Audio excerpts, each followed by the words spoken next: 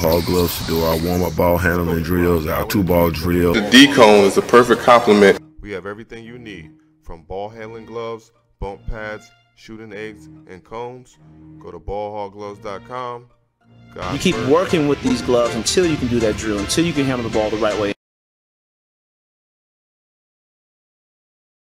Very talented youngsters on this roster and a number of draft picks that they can use along the way. Caro in that mid-range that you like to highlight knocks it down. Coming out of Duke University, playing for Mike Krzyzewski, they, they run the pressure night in and night out. A questionable decision there and turnover the other way. The three for Harris falls, but they are still playing close games. Franz Wagner, good ball movement here. Fultz is not a great three-point shooter. The form is tough to watch, but he knocks that one down 30% on the year. And follies around the iron in Orlando looking to take advantage. Harris strokes the three. It's good. And Gary Harris rips the cords 43% on the year. Four turnovers, five points. Tough pass inside by Gordon to Plumlee. Another giveaway. Fultz showing off the moves and the touch inside. Fultz now with five.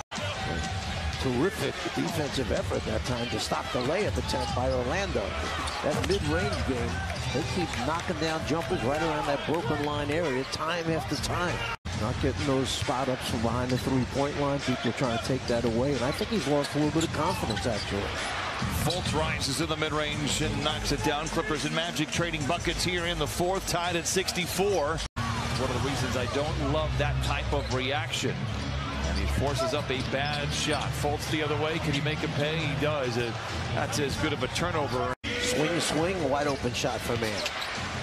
Fultz behind the back with the dribble and gets Batum in his back pocket. Mann, baseline drive. Covington, touch pass in the corner to Batum. Touch pass to Plumlee. Clears out, blocked by Fultz, recovered by Orlando. What a play! Orlando some good minutes off the bench. Fultz checks in. Fultz turns the corner, aggressive drive to the rim and lays it in. There's a two-man game with Harris. Surveys the scene and finds Fultz. Contested mid-range. Oh, it's good for Fultz. He has 22. Secure the defensive rebound. Stops and scores in that order. Fultz the other way. Lop it to Carter Jr. and he lays it in. 104-99. Better effort of an Orlando Magic player. Westbrook denied at the rim by guess who? Carter Jr. does it again. Five-point lead. Fultz back the other way. Barging down the lane and lays it in. Easily get it across half court. Dive down the lane, taking what the defense gives him and lays it in. 17 of 23. And Fultz has been spectacular for the Magic here this afternoon.